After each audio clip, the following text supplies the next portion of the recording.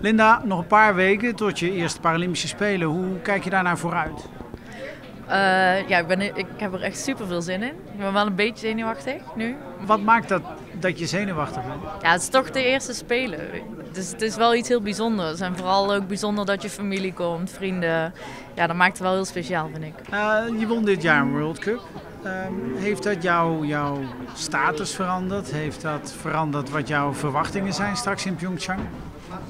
Uh, nou, nee, ik denk niet zozeer. Het is gewoon, ik weet gewoon van mezelf dat ik één hele goede run moet skiën. En als er uh, de disciplines slalom en reusslalom, dat ik dus twee gewoon hele goede runs moet skiën. En dan zijn er mogelijkheden, maar dat is, ik heb gewoon hele goede concurrenten ook. Dus eigenlijk kan alles gebeuren. Het hangt een beetje van de dag af. En, nou, de piste kennen we natuurlijk gelukkig al.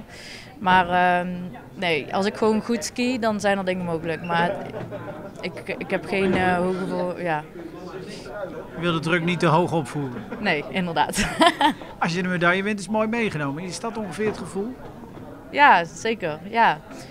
Kijk, uh, ja, wat ik zeg, er zijn gewoon hele goede concurrenten. En ik weet gewoon dat ik, dat is wel fijn. Ik weet wel dat, dat als ik goed ski, dat ik ze kan pakken.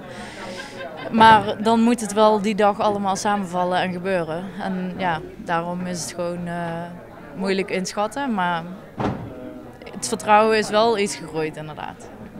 Ja, wat in die laatste dagen, is het dan rusten of is het toch nog even iets doen aan het skigevoel? Ja, we gaan nog trainen. We hebben natuurlijk voor de, voor de opening zijn er al uh, um, de downhill trainingen. En dan de eerste dag is voor ons ook de downhill. Dus die twee officiële trainingen, dat is al echt. Ik denk dat, dat, uh, dat je daar echt je vertrouwen en je gevoel goed moet hebben staan. En dat je dan met vol vertrouwen die spelen tegemoet kan. Veel succes. Dankjewel.